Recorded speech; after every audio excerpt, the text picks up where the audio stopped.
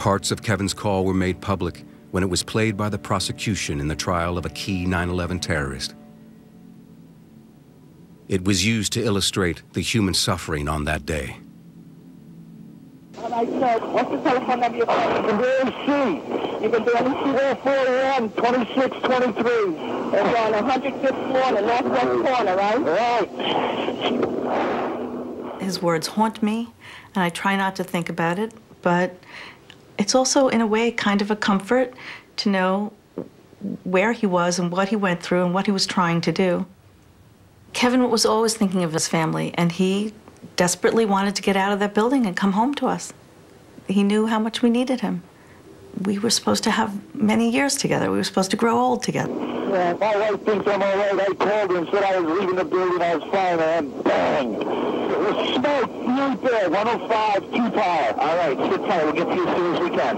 Yeah, you keep saying that, the smoke's really bad, man. I barely leave. That's all we can do. We, we, where are you? What floor you guys up to? We're getting there. We're getting there. Doesn't feel like it, man. I got young kids. I understand that, sir. One lady called him the voice from the towers. It made it real for her, that it wasn't just a news story, that there were really people in there and it wasn't just buildings. There's lots of people up here. I understand. Smoke rises get really big. We're on the floor. We're in a window. And then I had to barely breathe now. Can't see. Okay. Just try to hang it there. I'm going to stay with you. It's really bad. It's black. It's iron. We're young men. We're not ready to die. I understand. Hello? Hello? We're looking at, oh, we're looking at financial center. Two, three of us, two broken windows.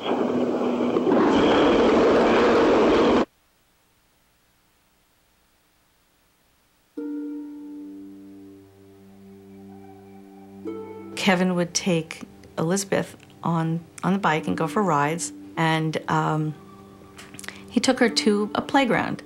And after he died, Elizabeth said to me, Mommy, can you take me to the secret playground? And I said, I don't know where it is.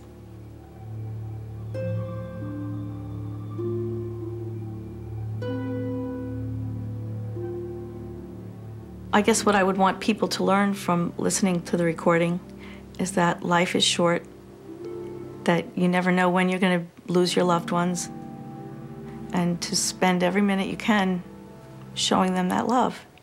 And that's what's important in life.